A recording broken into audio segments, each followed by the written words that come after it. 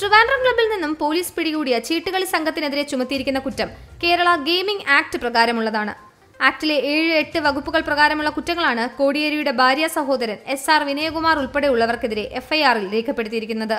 സാമ്പത്തിക ലാഭം ലക്ഷ്യം വെച്ച് ഗെയിമിംഗ് കേന്ദ്രങ്ങൾ നടത്തുക സാമ്പത്തിക ലാഭത്തിനായി ഗെയിം കളിക്കുക എന്നീ കുറ്റങ്ങളാണ് ചുമത്തിയിരിക്കുന്നത്. പോലീസ് സ്റ്റേഷനിൽ നിന്നും ജാമ്യം ലഭിക്കുന്നവയാണ് ഈ കുറ്റങ്ങൾ രണ്ടും. ചീട്ടുകളി കേസിൽ പ്രതിയായ വിനയകുമാറിനെ പൊതുമേഖലാ സ്ഥാപനത്തിന്റെ എം ഡി സ്ഥാനത്ത് നിന്നും സസ്പെൻഡ് ചെയ്തേക്കും. സെക്ഷൻ ഏഴ് പ്രകാരം മൂന്ന് മാസം വരെയുള്ള തടവോ അഞ്ഞൂറ് രൂപ പിഴയോ രണ്ടും കൂടിയോ ആണ് ശിക്ഷ. സെക്ഷൻ എട്ട് പ്രകാരം ഒരു മാസം വരെ തടവോ അഞ്ഞൂറ് രൂപ വരെ പിഴയോ രണ്ടും കൂടെയോ ലഭിക്കാം. കോടതിയിൽ കുറ്റം സമ്മതിച്ചാൽ ശിക്ഷ വാങ്ങി കേസ് അവസാനിപ്പിക്കാം.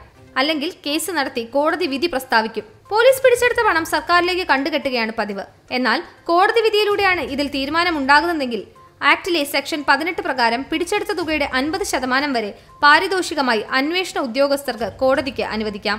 അല്ലെങ്കിൽ ആരെങ്കിലും വിവരം നൽകിയാണ് കേസ് പിടിക്കുന്നതെങ്കിൽ ആ ആളിനും ഈ പാരിതോഷികത്തിന് അവകാശമുണ്ട്.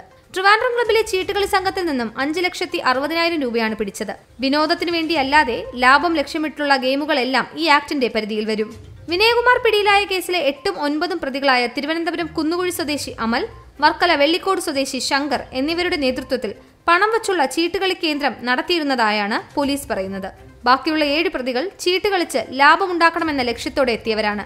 സംസ്ഥാന വ്യവസായ വകുപ്പിന്റെ കീഴിൽ കൊല്ലം ആസ്ഥാനമായി പ്രവർത്തിക്കുന്ന യുണൈറ്റഡ് ഇലക്ട്രിക്കൽസ് ഇൻഡസ്ട്രീസ് ലിമിറ്റഡിന്റെ മാനേജിംഗ് ഡയറക്ടറായ വിനയകുമാർ മലബാർ ക്യാൻസർ സെന്ററിൽ പി ആർ ഒ ആയിരിക്കെയാണ് സംസ്ഥാന സർവീസിലേക്ക് എത്തുന്നത്.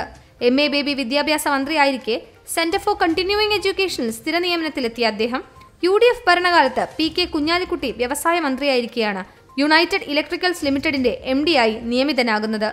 മാധ്യമ സിൻഡിക്കേറ്റ് തിരുവനന്തപുരം.